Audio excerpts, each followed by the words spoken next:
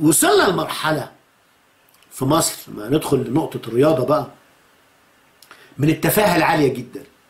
تفاهة فوق ما نتخيل. طبعا مش عايز أقول لكم برضه التعصب وصل للرياضة. وصل للرياضة. يعني مش عايز أكرر اللي بيتقاله كل يوم على الفيس وانتوا بتشوفوه إن في أكتر من طفل عشان اسمه مينا واسمه مخلص واسمه عبد الملاك ما ينفعش يدخل طالما مسيحي يدخل في أي فريق لا أهلي ولا زمالك. فبقى التعصب سيمه كاملة في كل الأندية المصرية ما فيش مسيحي يدخل.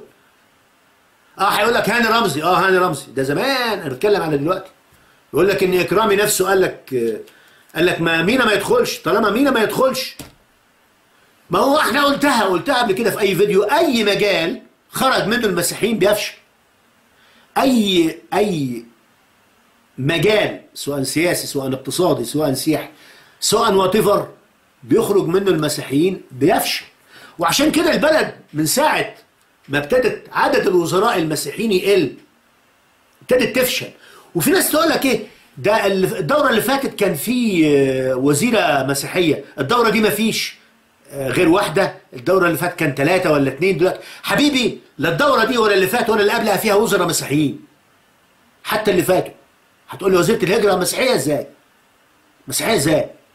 وهي بتطبل على طول الخط لشيخ الأزهر والرئيس وراحت قال بيقول لك في بنت بقت مسيحية راحت جابتها للإسلام من إيطاليا رجعتها. مسلمة إزاي؟ مسيحية إزاي؟ مسيحية اسما.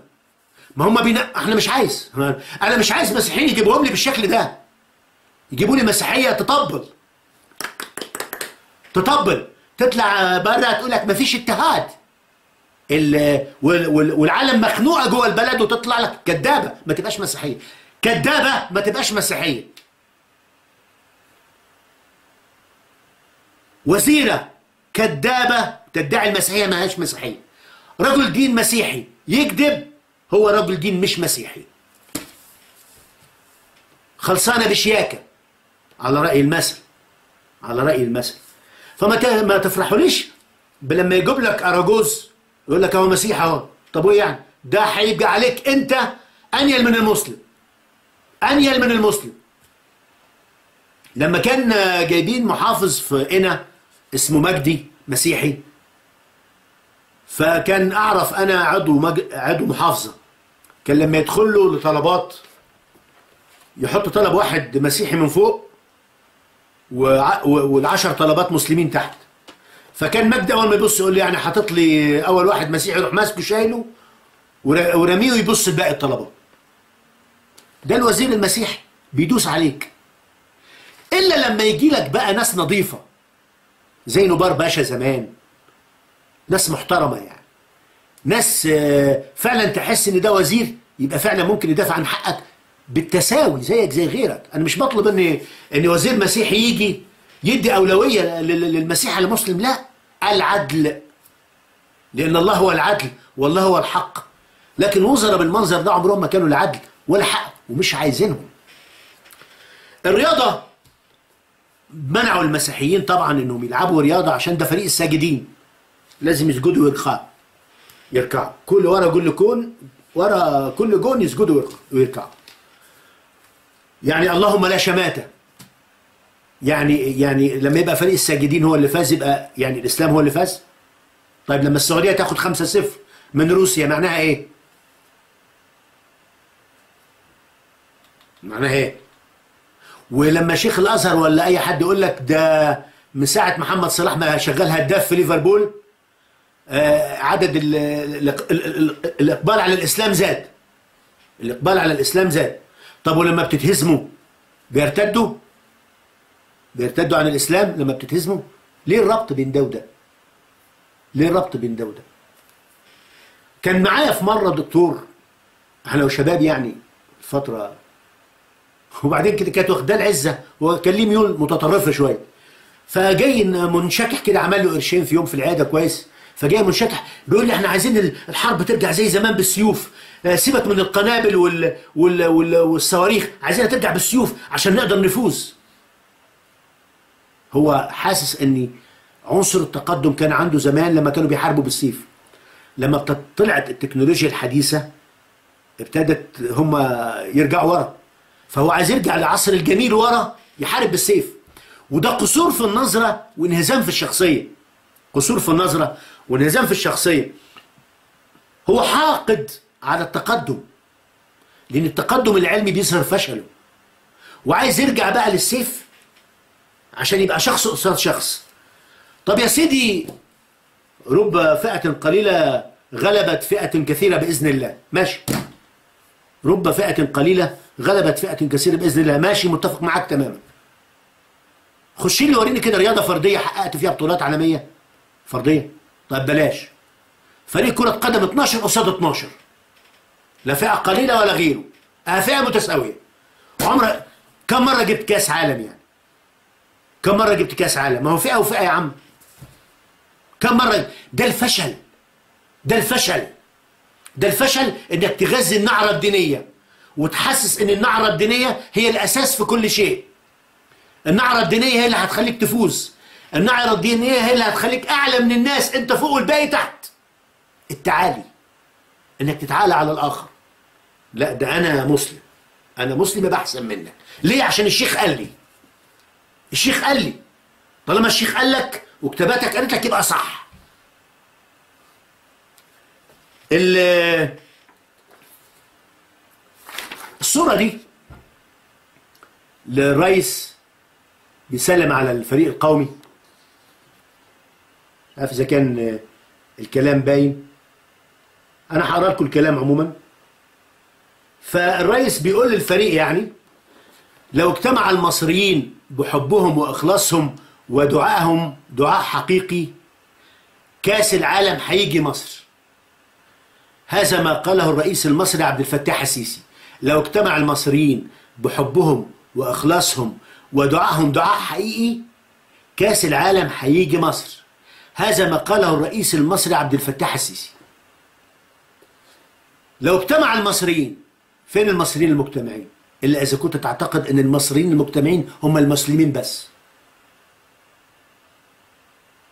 لو المجتمع المصري بحبهم واخلاصهم يا سيادة الرئيس الحب وال- والدعاء ما بيجيبش كاس. اللي بيجيب الكاس التمرين والدعاء لربنا بس بعد التمرين الجيد.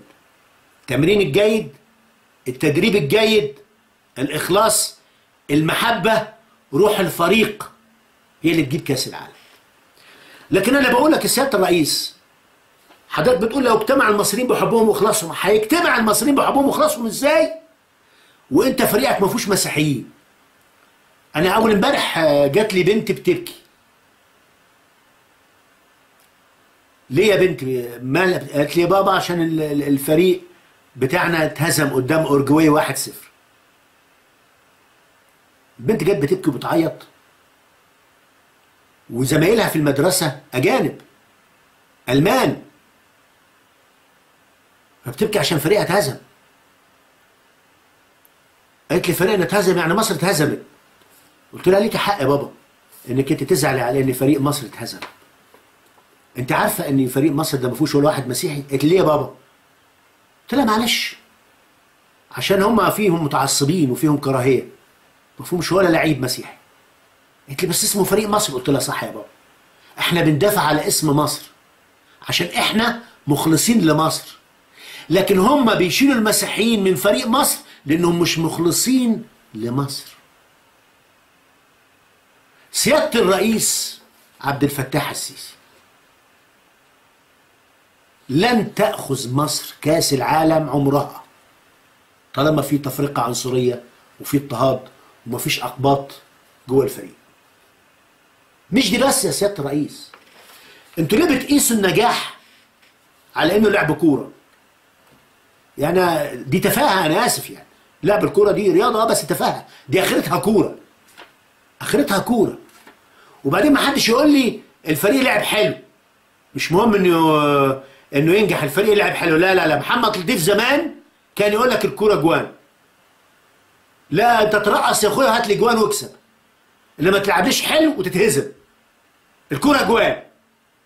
عايزين جوان. إنما لعبنا حلو ولا رقصنا حلو ده عنده مننص.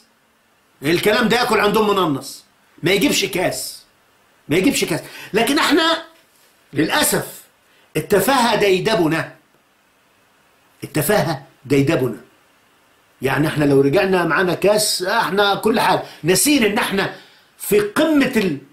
اسفل سافلين في العلم اسفل سافلين في التجارة اسفل سافلين في الاقتصاد اسفل سافلين في الصناعة اسفل سافلين في الزراعة اسفل سافلين في الأمن اسفل سافلين في البنية التحتية. أنتوا مش عايزين تعترفوا بالحقيقة ليه؟ ليه مش عايزين تعترفوا بالحقيقة؟ إن كنتوا حكومة فاشلة. وحكومة فاشلة نتيجة ان إن الدولة أساسا الكوادر اللي بتقودها فاشلة. أنا عمري ما شفت واحد ماسك في كادر بتاعه. يعني مثلا هل عمرنا شفنا رئيس رئيس دولة حاصل على بكالوريوس آه، علوم سياسية؟ ما حصلش. آه، ال- ال- ال- ال- الفئة اللي بت- بت- بتدير البلد كلها حاصلة على إيه؟ هتلاقيهم أساسا ثانوية عامة 50 60% ثانوية عامة 50 60% ده بيفكرني زمان لما كنا في ال- الإعدادية والثانوية لما كنا في الفصل. فكان آه، ال- ال- الأستاذ لو حب يطلع من الحصة يغيب له 10 دقايق ويرجع وعايز الفصل يبقى هادي ما يحصلش دوشة كان يجيب ولد يمسكه الفا يقول له اقف لو حد عمل صوت اكتب اسمه. مين الولد اللي كان يجيبه؟ كان يجيب أفشل ولد في الفصل. ولد يكون سقط ثلاث سنين في الإعدادية خمس سنين في الثانوية يقول له اقف ياض أنا ما كنتش عارف الحكمة دي. أفشل ولد. واللي بيسقط ما بيعرفش يقرا يمسك الفا الفصل آه ليه؟ سألت. فسألت مدرس تاني يعني. بقول له ليه يعني؟ إيه الحكمة؟ قال لي لا ده عشان بيبقى بلطجي. فهو عايز يضمن إن العيال تسكت. فيوقف ولد بلطجي ويدي يدي ال- البلطجي ده ال ال أنت بقى الألفة فالبلطجي يفرض ويفرض قصوره الشخصي ويفرض ضعفه العلمي. ضعفه العلمي يركنه جانبا وتظهر بلطجته في إنه يعمل control على الناس اللي موجودة. ومنهم ممكن تكون ناس شطار وبيطلعوا اوائل لكن دي التفاهة. عشان كده البلد بترجع ورا. مفيش قيادات ناجحة تمسك. كل حد بيجي أفشل من اللي قبله. كل حد بيجي أفشل من اللي قبله.